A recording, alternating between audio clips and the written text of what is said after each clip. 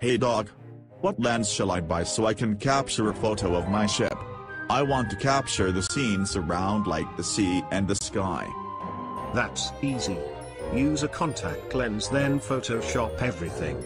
If I am wrong you may ask Bob Mastar by attending a basic photography workshop. Great. Does he have a website? Yeah? It's www.bobmataphoto.com. Superb. I will check it out.